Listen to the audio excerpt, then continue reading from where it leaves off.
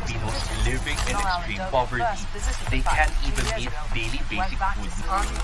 Every day for the last four years, Ito ang unang makikibahagi sa biyaya mula sa ekonomiya at mula sa pamahalaan. Lengua para Diablo, song for the devil.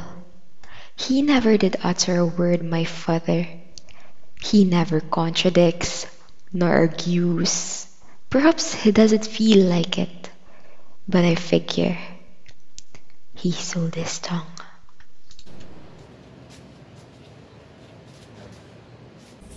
I had never dreamed of this.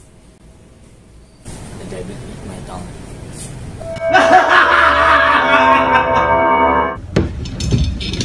I'll pay you enough once you finish my house. Good luck. Thank you so much. This means a lot.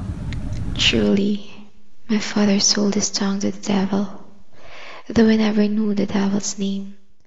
I gave you everything you want a decent house, fancy car, and food of all flavors. Just give me some time. Stupido. I don't know what you're talking about. I don't need you. You're fired. It's not fair. Give me my salary, or else. Or else what? What are you gonna do? Kill me? I'd like to see you try, boy. In all those two days of silent staring, father hardly ate. He said he had lost his taste for food. He was not hungry. Open doors stairway to heaven. Relic sensations of haven. Is it really too much to ask? A full stomach wants a galactic seven.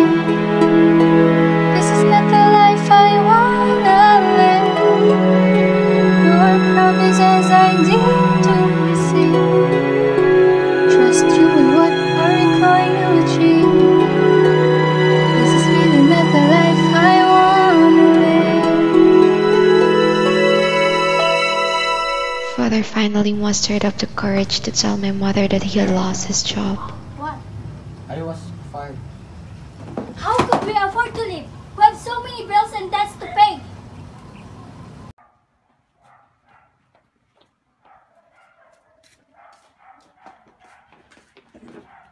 Dad, where are you going? We're going to my mother's house. I don't want to be with you anymore. And as we departed and left our father, I saw something in his eyes. Something that I have never seen before. Stare into my eyes and see the darkness that has broken me.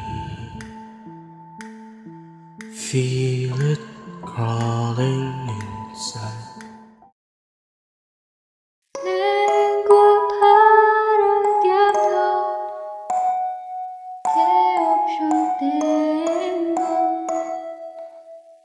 Some people say that a dream, but dreaming's a sin. Or how could I dream when survival matter